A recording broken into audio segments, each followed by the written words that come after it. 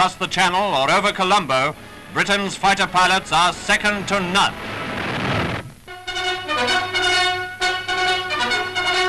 Also second to none is the Royal Navy, without whose unfailing courage and efficiency, plus that of the Royal Air Force and the Fleet Air Arm, this war would have been lost long ago.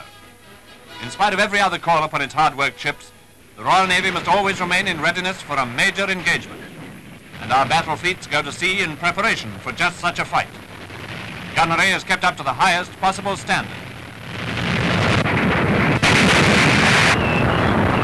And of course, battleships like Duke of York and King George V keep a sharp lookout for the enemy by aerial reconnaissance.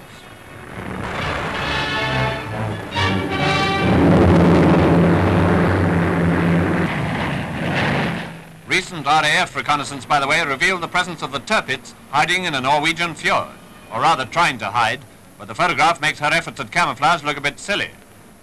Anyway, the 40,000-ton sister ship of the ill-fated Bismarck is there, ready for sea. And there may be two more of the same class in commission by now. So the Royal Navy prepares for action, guarding our convoys to Russia in all weathers against the enemy's powerful raiders. And please don't forget that even if we have enjoyed a touch of spring at home, it's not always quite so pleasant up north.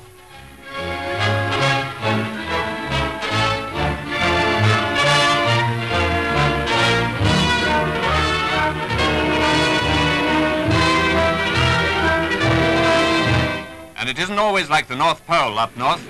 Sometimes it's more like rounding Cape Horn. Heavy weather even for a battleship. Destroyers have to heave to. As for Victorious, well, this shows how she can take it.